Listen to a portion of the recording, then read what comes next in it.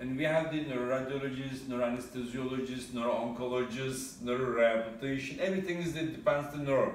And the three Tesla MRI, also we are using the, with not only MRI, like, you know, radiology you said? Yes. Is the, not Yes, only, latest. we are using not only conventional uh, MRI, we are using the perfusion, spectroscopy, and tractography, DTI with DTI, and also planning everything with the MRI.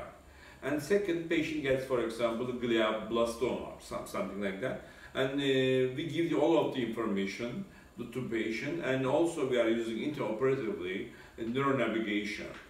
And uh, we, we use the Metrotonic, Metro, Metrotonic and uh, also we are using the um, uh, neuromonitorization every case and spinal and cranial case we are using routinely and also third one is the intraoperative ultrasonography and also uh, we are using the neuronavigation uh, plus uh, with the uh, very high quality Zeiss microscope and uh, uh, you know, is the staining, immunostaining. Also we are using.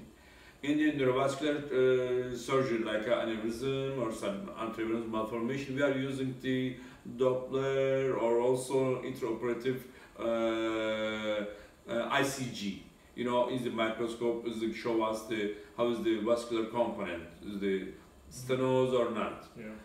We, we, we are using the uh, image staining also. For example, page, uh, microscope gives some opportunity, like uh, uh, we give the intravenously at uh, some kind of uh, Staining. staining, and then show us like uh, the tumor staining, and then Mhm. oh, this is the tumor, this is not the tumor, we can stay that.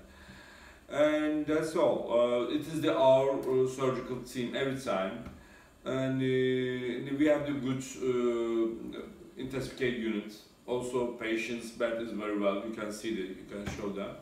Like uh, uh, another things in spinal surgery, we are using the O-arm. O-arm that means is a new uh, facility for us or for the in the world, and the intraoperative CT scan.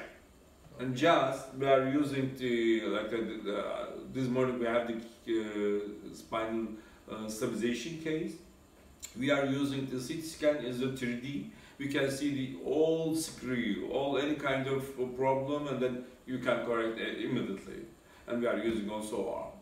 Uh, are you using the stereotactic biopsy? as Yes, exactly. Yes, exactly. I forgot it. So Yes. it's, it's part of the protocol, for example, if the tumor is uh, is related to neuro-oncology. So you do it for each and every case, or mostly the cases uh, are like with, with the radiological images, you can just identify it is fine. Yeah, our radi- radiologist is the neural radi- radiologist, and then she educate uh, outside in Italy or some United States somewhere. And we are using especially the spectroscope and perfusion MRI, so gives so good uh, image. kind, yeah, image.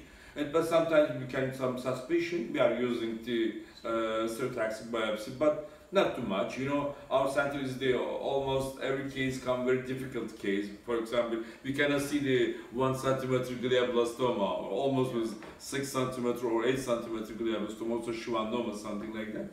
And then generally we prefer the surgery, but sometimes we need, uh, especially brainstem tumors, and then we need uh, some stereotactic biopsy.